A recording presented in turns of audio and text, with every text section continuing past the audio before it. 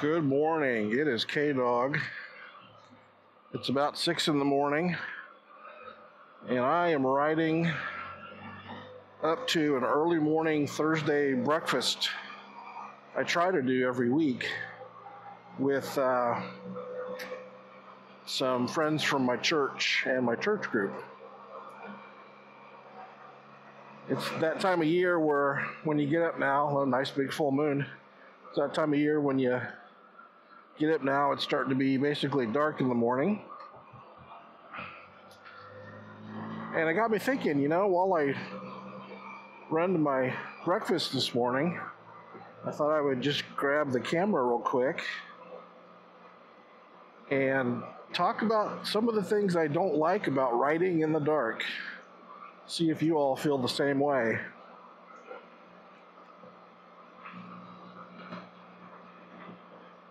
Would say the number one thing I don't like about riding in the dark is not being able to see what's in the road uh, ahead of me as well as when it's light outside. It's probably one of the worst things that can happen to you when you're on a motorcycle on the road is hitting something in the road it's a constant struggle, even in, in the daytime. You know, all the things you have to pay attention to, but also looking way down the road and looking between cars and not getting too close to cars in front of you so that you can actually see what's coming. And that's why there's a lot of hand signals when you're riding in a group that help you get notified as early as possible when you're back in the pack that there's something in the road that you should avoid. Well, at nighttime, that's a real pain, isn't it? You can't always turn your brights on and see a little farther. So that always worries me. There's someone walking at six in the morning. I think the number two thing about riding at night that I don't like is you have to be even more diligent about those situations that are especially dangerous for motorcyclists you know, cars turning left in front of you, intersections, things that are pretty dangerous anyway, but at night, when the cars can't see as well, just like you can't see as well, you just have to be extra diligent about those particular situations. Take your time, look ahead. Don't be afraid to flash your brights if you feel like it's going to help you be seen more. I think the number three thing I don't like a lot about riding in the dark is when there are any lights around from cars or whatever, the glare. I don't know if it's just me getting older or if you all have the same thing, but at night when I'm, whether I'm on the motorcycle or in a car, I get that halo effect and the glare from the lights that kind of makes it hard for me to see sometimes. Not hard to see, but you know what I mean. You kind of have to squint around it or try to look through it and it's just not quite what it was when I was when I was younger. So that just makes it all the harder sometimes to see at night. The number four thing I don't like when I'm riding in the dark you might think this is um, something that shouldn't go on the list, but it really bothers me. Is usually when I'm riding in the dark, it's you know summertime. I don't ride a lot in the dark, but when I do, it's um, you know like this morning breakfast that I try to do, or when the weather's nice. But boy, the bugs are just terrible and the front of the bike and the windshield, uh, you gotta clean it. You can't you can't just ignore it because those bugs will get get hard and get stuck, and it can be a real chore to keep the front of the motorcycle clean. So, yeah, the bugs. The number five thing I don't like when I'm riding in the dark but I've done much better at avoiding than I used to is when you ever have to stop on the bike, you know, when you get where you're going or you have to stop for some other reason if you need to get something off your bike, you know, out of the rear trunk or the or the, or the front trunk, as they call it on a Spyder. If you don't have a flashlight or something, it's actually it can be hard to find what you're trying to find.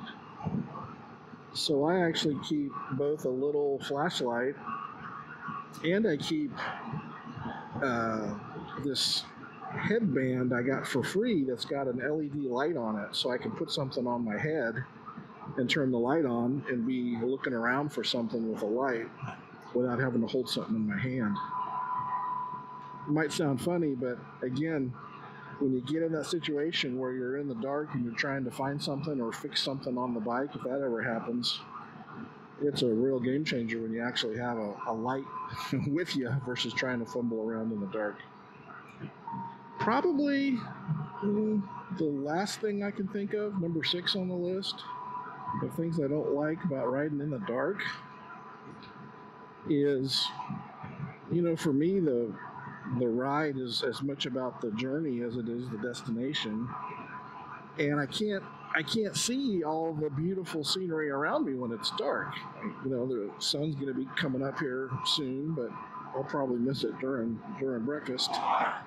But I can't see, you know, the blue sky and the clouds and and the fields and the trees and you know just all the scenery that for me is a big part of why I ride. Can't see that when it's dark outside. So anyway, that's it. I just thought I'd get that recorded real quick while I'm on the way to breakfast here. The things I don't like about riding in the dark. Let me know what uh, what things you don't like about riding in the dark. Let me know if there's anything I missed that you really don't like. And if there's things you like about riding in the dark, I'd love to hear that too. Just throw it down in the comments. Let's have some good discussion over it. You know, if I'm going to talk about the things I don't like about riding in the dark, I should probably cover a few things that I like about the Can Am Spyder, specifically when I am riding in the dark. There are some things that I really like about the Spyder that make me a little more comfortable than on the other trike and the other motorcycles that I've had over the over the decades. Um, the front headlights on the Spyder are just really good. They're very visible. I did another short or another video where I showed that. I showed what the what the lights look like on the front, and they're very visible. And the brights are, are you know very very bright as well. So I really like the visibility of the of the Spyder, which is great. I like the fact that the Spyder's a three wheeler. You know, if you've got to move quickly to avoid something last minute in the road, um, having a having two wheels in the front for stability, um, I really do feel like it allows me to move a little quicker to the side if, if I have to than when I was on the motorcycles.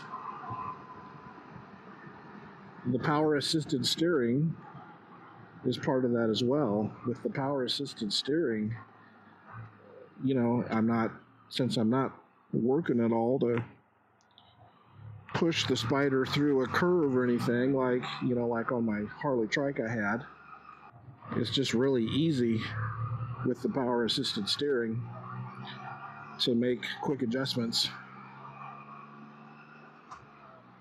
Um, you know, another one, just the fact that it's a trike, just the fact in general, I kind of mentioned that before, but the fact that it's a three wheeler, you know, whether whether it's a Spyder or another three wheeler, a trike, a goldwing trike, whatever, just the additional stability if you've got to do something, you know, quick, I think is something I definitely enjoy more on the Spyder than when I had two wheels. Those are some of the things about the Spyder that I do think makes night riding easier. I love the windshield. I mean, any any tall windshield on on a motorcycle um, is helpful, especially at night. you know, it's just keeping all those extra bugs that are around at nighttime. They're not hitting you in the face. And the fact that the Spyder's got an electric adjustable windshield where I can adjust it up or down anytime I want to rather than, you know, putting a different windshield on like I was doing on my Harley trike. Just makes it all the easier. See, this is things I try to be careful about at night. At any time, but at night. I got cars behind me, car in front of me.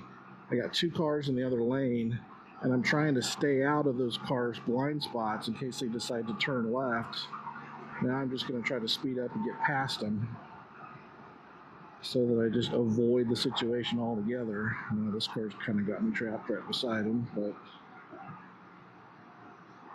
just they're all, I'm always thinking about those things. Where, how can I put myself in a situation where it's not as bad a situation as it could be? Stay out of blind spots. I've been beside semis on the highway when they have a tire blowout, and that is not fun. It can be deadly. So I try to not stay beside semis very long at all.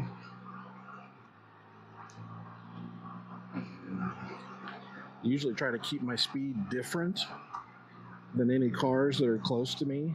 I want to be either going slower or faster than them so that I'm not so that I'm more of a moving target, hopefully more visible. Just small things like that I think make a difference.